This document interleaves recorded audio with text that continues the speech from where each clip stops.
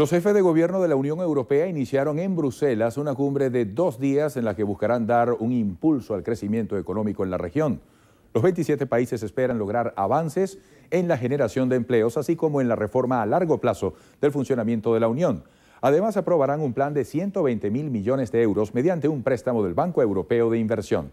El presidente español, Mariano Rajoy, espera que en la reunión se tomen decisiones para rebajar la prima de riesgo en la región.